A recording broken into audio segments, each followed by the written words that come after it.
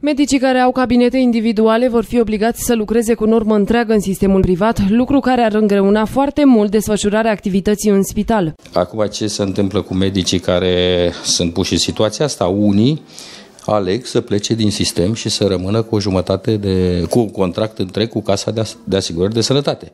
Alții aleg să rămână la spital și să nu mai facă contract cu Casa de Asigurări de Sănătate.